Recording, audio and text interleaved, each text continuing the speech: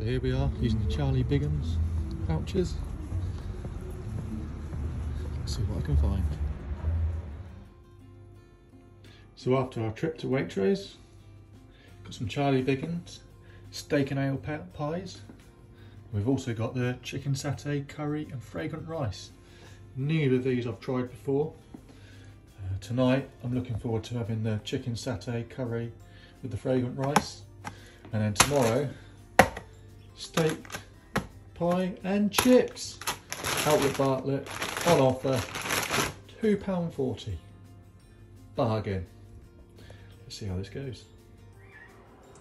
This is how they come, all wrapped up nicely in their bamboo trays.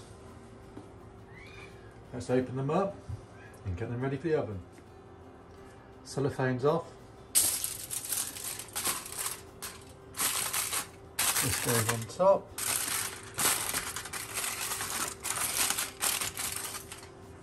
And then that goes in the oven at just two, 210 degrees. This oven's minging that glass. But anyway, they stay in there for 30 minutes and then I'll be back. So we're back here at the minging oven. Looking tasty and good in there. Let's get it out.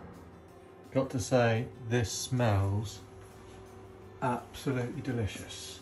Let's see the rice. Oh, look at that. So, do you eat it with a spoon and fork like me, or are you a maniac and have a fork and knife? Let's get it on the plate. Boom. Dinner is served. Thank you, Charlie. Really appreciate this. I'm looking forward to my pies tomorrow.